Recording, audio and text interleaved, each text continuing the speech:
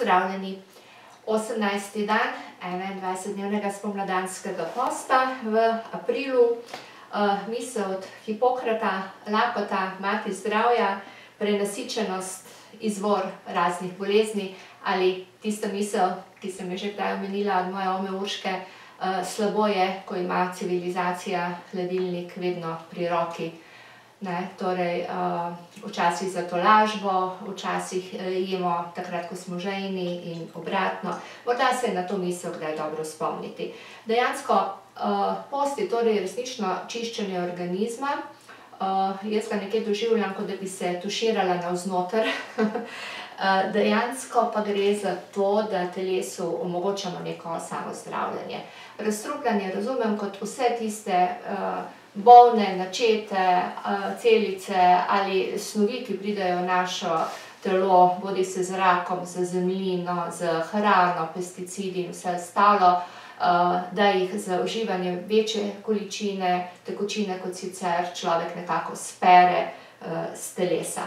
Je pa zanimivo, da se mi zadnje dneve zdajle dogaja, da mi pride okus po zemlji, no, če lahko rečemo, da, na to asociira seveda tudi glina, ki je, predelana z namenom pitja, ampak od vseh tekočin me dejansko trenutno resnično najbolj osvežita, osveži napitek dva deci zjutraj, hladne, čez noč namočene gline.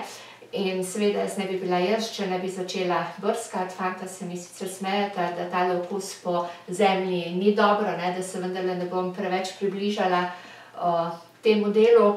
ampak, ko pa začneš brskati, pa vidiš, da po tradicionalni kitajski medicini zemlji pripada organ, vranica, želodec, zebajo me včasih noge zdaj, ne, bolj mi je hlad, s hladom je povezano tudi delovanje vranice, s prekrvavitvijo.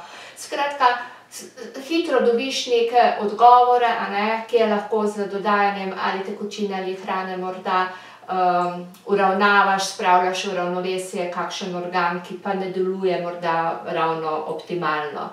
zanimivo je tudi, da mi v času razstrupljanja izrazito, prija, paše nekako pekoč okus, ne vem, pri napitkih to definitivno, ingver malce speče, potem od juhe morda čebulna juha, potem je še tule, ostra paprika ali čili, začinjen ajvar na žlico.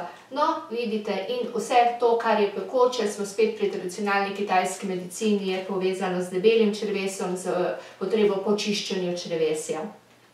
Zdaj, ta okus po glini oziroma po zemlji so že v starem Egiptu poznali in glineno vodo so takrat pili proti koleri. No, če prenesem na današnje razmere, bi rekla: "Pijmo vsi glineno vodo, smo v času pandemije, ne." zdaj, vsebuje ta glinena, voda, medicinska, v, lekarni jo kupite, silicij, železo, kalcij, magnezij in, starši smo že kdaj naleteli na to, ko so naši otroci odraščali, da so, vnašali v usta vse, kar jim je prišlo pod roke, med drugim tudi zemljo, in vedno smo potem vpile: "Ne, pusti to, to je fejt, to se ne je," in tako naprej. zdaj, če to na primer otrok počne, se svetujeta dve stvari, ena je lahko povezana s kakšno motnjo, ko otrok dejansko vse vnese v usta in kredo in barvo stene, ne, in je to treba malo s pediatrom se pogovoriti. Druga zgodba je pa lahko spet povezana s tem, da si prisluhnemo in morda preverimo, mogoče ima otrok ali premalo železa ali premalo kalcija v telesu in mu to, ko vnaša na primer zemljo v usta, prija. no, je pa glinena voda v času, razstrupljanja, dobrodošla in to tudi pri sebi opažam, še bolj odvajam vodo, ker preprečuje kopičenje vode v telesu. Nekako vzročno-posledične povezave so tukaj, a ne. telo nekaj zaznava, to, kar mu vnašaš, prija, in potem v bistvu je samo, da gremo v sodobno enciklopedijo, imenovano Google striček, in v bistvu lahko z informacijami povežemo neko interpretacijo, zakaj v določenem momentu ima na primer telo potrebo ravno po, neki hrani, po vnosu, nečesa. Meni je v obdobju, ko sem imela kakšno vnetje ledvic, na primer, zelo prijal Azuki fižol, to je tak majhen rdeč fižolček, na primer, a ne. Ko potem malo globlje prebereš stvari, vidiš, da je povezan, z različnimi recepti ravno s, krepitvijo ledvic. Naslednja stvar, ki je tudi zelo dobra v času razstrupljanja, že večkrat omenjeno gibanje.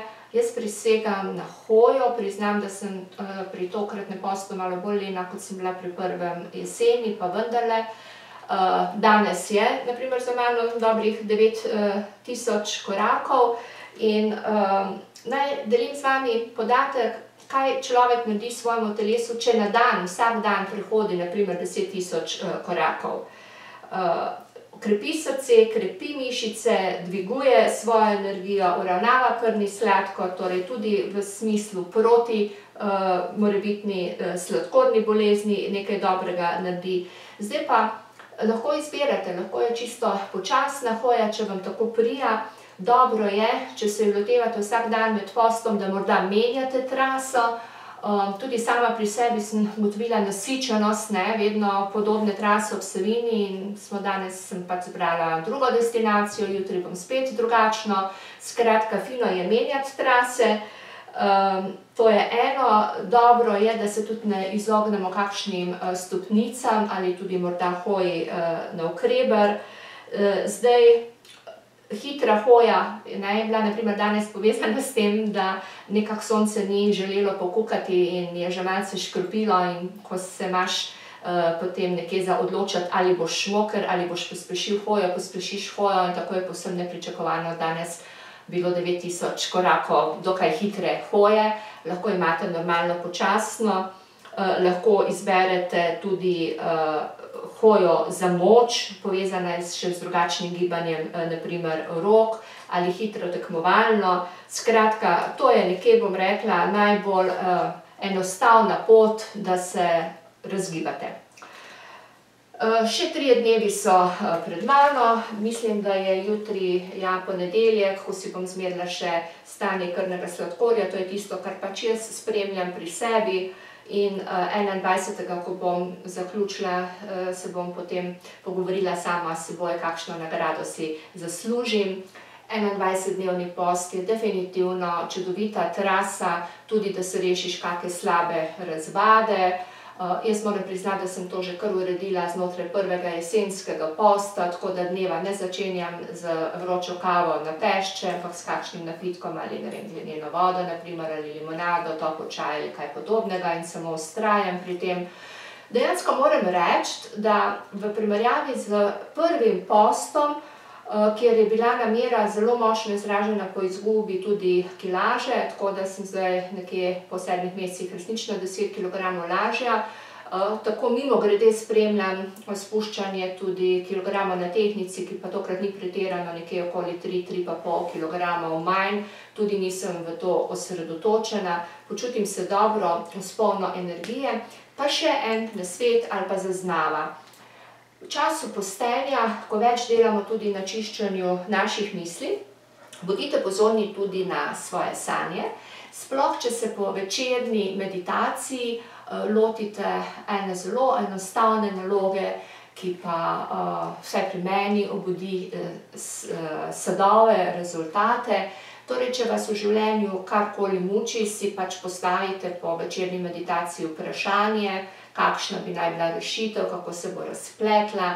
In ko se zjutraj zbudite, ponavadi ugotovite, da ste namig, nagovor, v katero smer, delovati, že dobili iz svoje podzavesti, no, zdaj prihajamo pa že na razčiščenje, uma in duha, torej ne samo telesa, ker pri postu gre pač oboje skupaj z roko v roki. Konec koncev je tudi fizična hoja nekaj, kar nam na koncu zagotovi več energije, boljše počutje, več optimizma.